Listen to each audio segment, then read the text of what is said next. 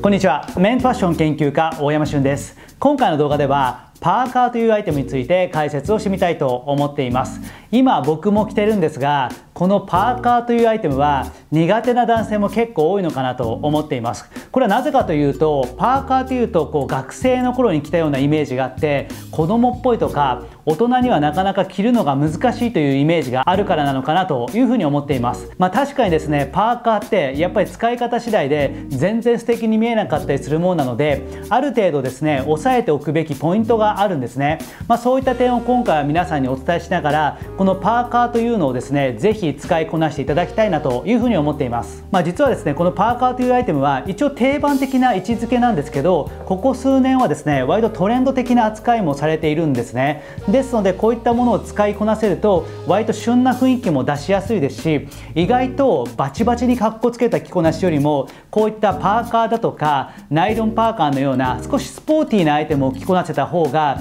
女性からの反応が良かったりするんですね。僕は普段ですねね大人の男性をスタイリングすることが多いんですけどパーカーをですねご提案させていただくとですねその方のですね奥様だとか彼女さんからの評判が結構良かったりするんですね。ですのでパーカーというものをですねしっかりと着こなせるといろんな方からの印象が良くなるのでぜひ皆さんにはですね今回の動画を参考にしながらパーカーというものをですね使いこなしていただきたいなと思っています。この番組では大人の男性に向けてメンズファッションの基本を分かりやすく解説していますのでよかったらチャンネル登録の方もよろしくお願いします。まあ、早速ですねパーカーについて解説をしたいなと思うんですがパーカーというアイテムは実はですね大きく分けると2つのタイプに分けることができるんですね。まず1つ目はジップアップタイプといって真ん中にですねこうジップがついているモデルですね、まあ、パーカーというとこちらをイメージする方の方が圧倒的に多いかなと思っています。僕自身そういったパーカーもいくつか持っていて、まあ、有名なのはですねシーグリーンと呼ばれるブランドのパーカーなんですけどもこれはですね僕は結構愛用していまして今でも時々着たりするんですけどもこういったパーカーもあるんですね。その一方で今僕が着てるようなプルオーバータイプのパーカーというのもあるんですね。まあ、こういったタイプはジップがなくてですね上からかぶるような形で着用するようなパーカーになってるんですね、まあ、この2つのタイプがある中でこれはですねやっぱり流行とかトレンドがあってどっちの方が旬なのかっていうのは変わってくるわけですね。で2020年現段階においてどっちがより旬なパーカーなのかと言いますと今僕が着てるようなプルオーバータイプの方がですねちょっと旬な雰囲気が漂うのかなというふうに思っています、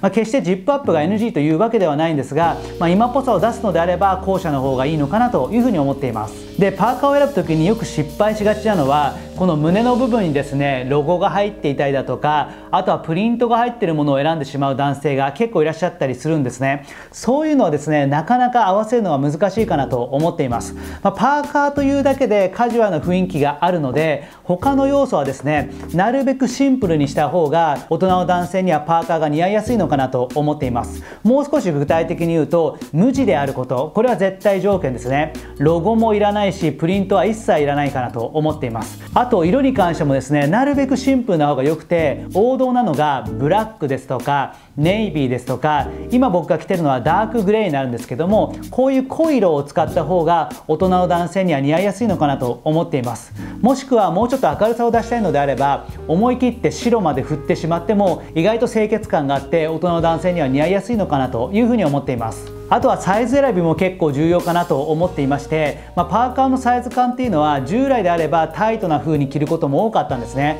特にジップアップ式のものに関しては割とタイトシルエットで着ることも多かったんですが、まあ、僕が今着てるようなプルオーバータイプはややゆったりめに着た方が今っぽい雰囲気が漂いやすいかなというふうに思っています。僕はですねいつも S サイズを選ぶことが多いんですけどもあえてワンサイズ上げて M を選んだりすることもあったりします。ですのでタイトすぎるようなシルエットにならないことここもですねちょっと頭の片隅に置いていただけると良いかなと思っています。そしてもう一つ重要になるのがやっぱりコーディネートですね。このパーカーを使ってどのように着こなしを構成するのかここ次第で全然見え方が変わってくるのでこれはですねこの後実際に全身を見ていただきながらどのようにコーディネートすればいいのかをですねもうちょっと具体的に解説をしてみたいなと思っています。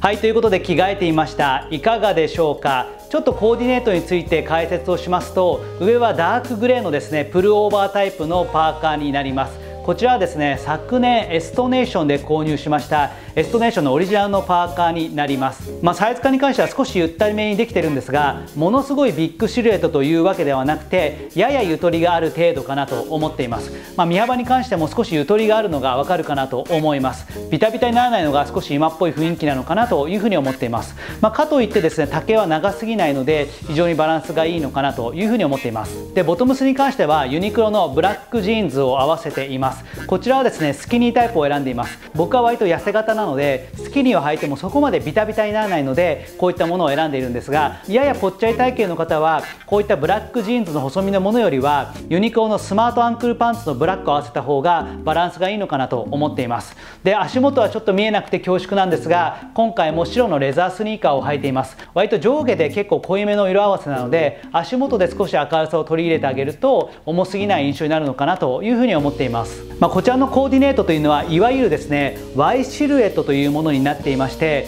上半身はややゆったりめのサイズ感にしてボトムスでサイズ感を引き締めるようにしてるんですね、まあ、さらに言うと上がですねカジュアルなパーカーというアイテムで下はジーンズなんですけどもブラックジーンズということでややきれいめなアイテムなんですね。ですのでパーカーというカジュアルなアイテムを使いながらも全身がカジュアルになりすぎないように調節をしています、まあ、この着こなしがまずは鉄板なのかなというふうに思っています、まあ、パーカーというアイテムに対してチノパンを合わせたりだとかブルージーンズを合わせてしまうと全身がカジュアルになってしまうのでなかなか僕たち大人の男性には似合いづらいんですね。ですのでパーカーには少しきれいめなボトムスを合わせるということをぜひ意識をしていただきたいなと思っています、まあ、一番分かりやすいのはユニクロのブラックジーンズですとかもしくはユニクロのスマートアンクルパンツこういったものを合わせていただけると非常にバランスがいいのかなと思っています。僕はですね今エストネーションのオリジナルのパーカーを着てるんですが、まあ、ユニクロの通常のですねプルオーバータイプのパーカーもすごくよくできているのでこういったものに変えていただいても良いかなと思いますしあとは期間限定で販売している